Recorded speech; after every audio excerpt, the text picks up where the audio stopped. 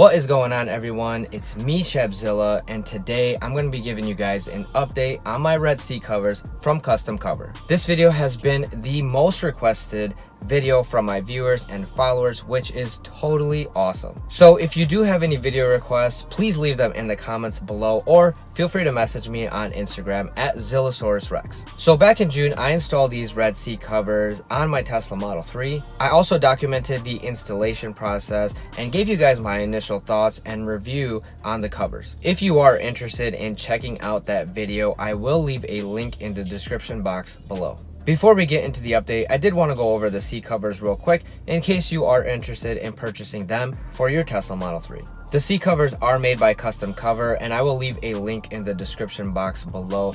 You can also purchase them from Extreme Online Store as well. They do have three options for color choices, red, red and black combination, and white and black combination as well. And they do actually have the red and black combination available for the Tesla Model Y.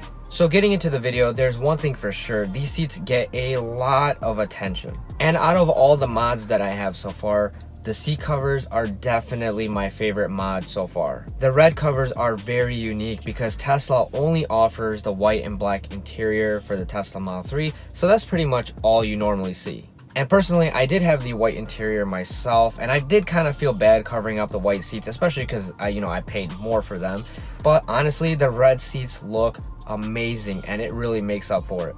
And I have always loved red interiors on cars, and personally, the white exterior with the red interior finish is my personal favorite and it just looks so good. And the funny thing is, even with the camel wrap, the seats actually get a lot more attention than the wrap itself. It has been a huge conversation starter at car meets, superchargers, and honestly even in parking lots when picking up food. And a lot of people ask me how I got the red interior, and they're like, hey, I didn't know Tesla offered a red interior. And sometimes I do go along with it and I say, hey, you didn't get the red interior from Tesla? Or I'll be like, you didn't know that Tesla offered the red interior? But most people think I actually swapped out the entire seats to get the red interior, and I didn't. All I did was install seat covers on the original seats. And uh, they're one of the reasons why people do ask that question is because the seat covers look identical to the stock seats. I mean, the stitching, the design, and everything is almost perfect. One thing to note though is that if you do have the white interior, the seats aren't as smooth feeling as the white interior. So they, the seat covers actually do have a different texture. It's not much different, but it is just a little bit different where you will notice it. And the seats actually feel a little grippier than the stock seats because of that texture. As far as durability, they do have a tough feel to them and I haven't noticed anywhere from getting in and out of the car. Also, the seats have not been getting stained from like my pants or anything like that, but also the seats have not stained like my clothes or anything like that because I mean, you might think that the red, you know, maybe it'll come off on like a white shirt or something like that, but it hasn't. And living with two young kids, they are definitely a good way to test the durability of the seat covers. And I do let my kids eat in the car. Not everybody's gonna do that, but I personally don't really care. This is a daily driver. It's meant to be driven, meant to get dirty and things like that.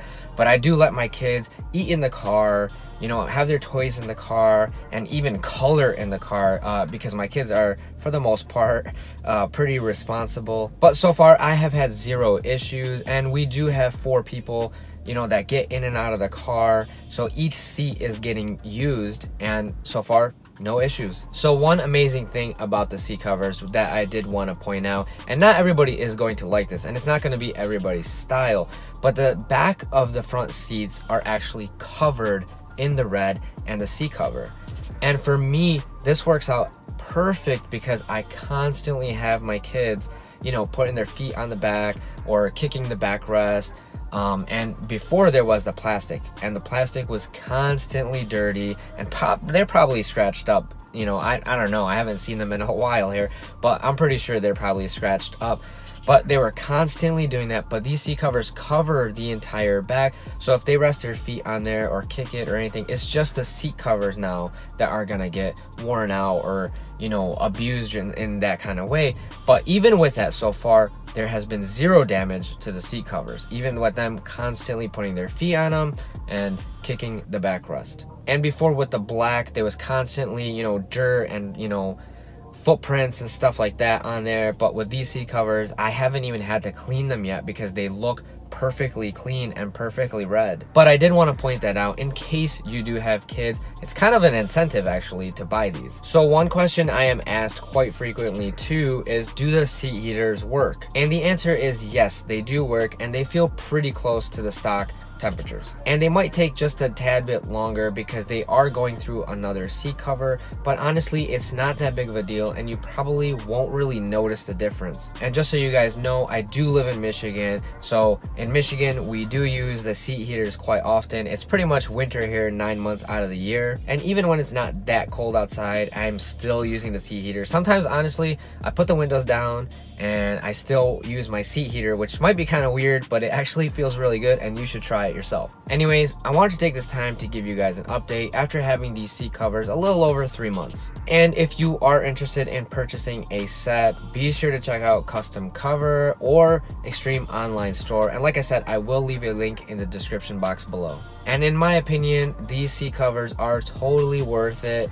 They look so unique they're an attention getter, but honestly, the cool thing is that they are also protecting your original seats. Thank you for watching this video, and like I said, if you have any video requests, leave them in the comments below or message me on Instagram. And be sure to subscribe to my channel so you can keep up with my Tesla build and adventures. And I will see you in the next one.